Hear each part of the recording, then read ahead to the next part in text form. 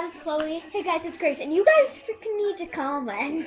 Yeah, because like we have no comments, but like seven views on hers, three views on mine, one view on a different one.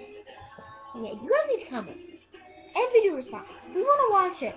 We want to know that you love us. and like Yeah. and subscribe. So, stay in tune with all our videos. Peace.